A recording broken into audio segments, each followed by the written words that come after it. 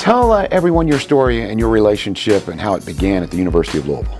Well, I came here four years ago, you know, when I was with Coach Petrino previously at the University of Arkansas. You know, I coached for him there for three years and going on fourth season here at Louisville and just love it here. It's my favorite place. Coach Klenakis, when you are out recruiting or when you have a player out on the field, what kind of attributes do you look for, both physical and mental? Well, I'll tell you what, you look for the intangibles first. You look for the work ethic, the ability to learn, to learn quickly. Is a guy a student of the game? Does he truly love football? And it, you know, has he a commitment to be the best? You, know, you look for those intangibles first because you know the ability will show up. You know, that's that's always obvious. There's a lot of guys out there with ability, but the mental, you know, aspect is what separates the good from the great. What what made you choose a career in coaching? What happened?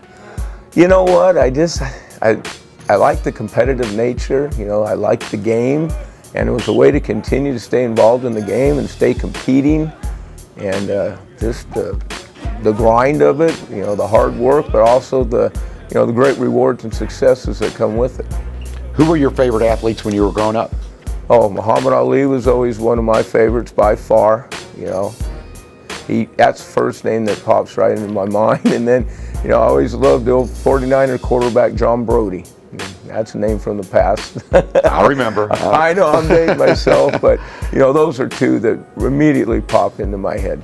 Do you have a coaching mentor, Coach K? Uh, you know, my college coach, Bob Petrino Sr., you know, had a great, great influence on me. And, uh, you know, the work ethic and, you know, the attention to detail, we learned from him as players. What does stadium expansion of Papa John's Cardinal Stadium, what's that mean to you? Oh, wow. That's just awesome. I mean, we already got the best fan base in the world, you know, but now we get more of them to come to the games and the atmosphere and with the new stadium club and that, you know, it's just going to become the best facility in the country and just going to make the atmosphere even better. You mentioned the best fan base in the world. Um, do you give us tell, go a little bit deeper? What do you think of Card Nation and the fan base? Oh well, Card Nation. It's like when we were at the uh, bowl game down in Nashville two years ago. We had 45,000 people there.